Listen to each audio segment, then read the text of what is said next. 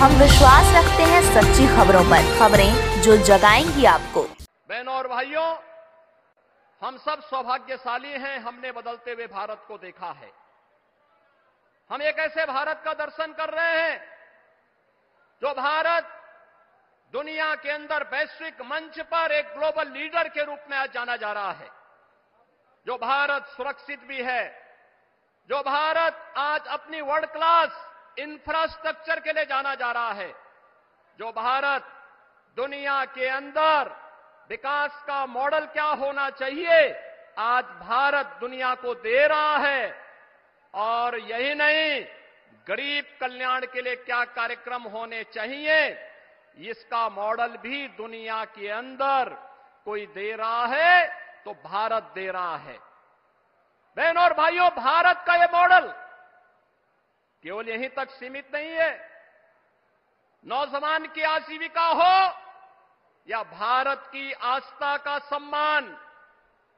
पहले लोग हिचकते थे इन मुद्दों को टच करने के लिए, लेकिन आज कोई चक नहीं जो भारत का है, भारतीयता का है, भारत के हित में है।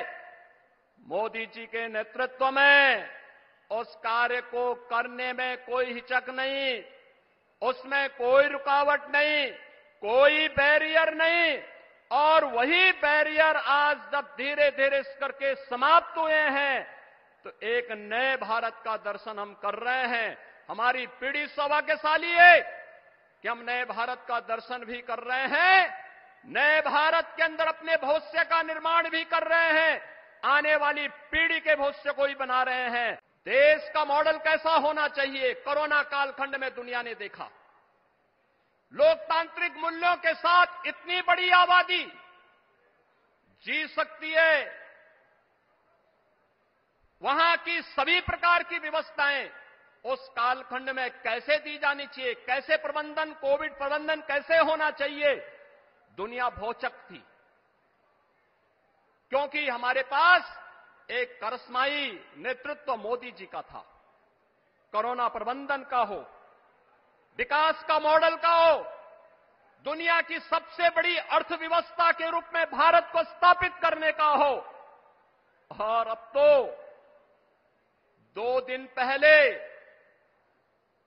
ब्रिटेन के प्रतिष्ठित माने जाने वाले एक समाचार पत्र की एक रिपोर्टिंग हम सबका ध्यान आकर्षित करती है, दुनिया का ध्यान आकर्षित करती है।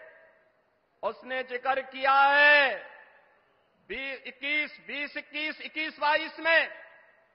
उन्होंने इस बात का उल्लेख किया है, कैसे पाकिस्तान के अंदर चुन चुन करके आतंकवादी मारे गए थे और उन आतंकवादियों को कैसे नष्ट किया गया था। द गार्डियन की इस रिपोर्ट का स्रोत क्या है? यह वही बता सकता है। लेकिन बहनों और भाइयों, एक संदेश साफ़ है।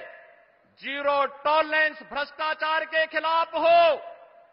किसी भी प्रकार की अराजकता के खिलाफ हो। दुनिया के अंदर पहले जिन मुद्दों को छूने से लोग डरते थे, आज दुनिया ने भी मान लिया है।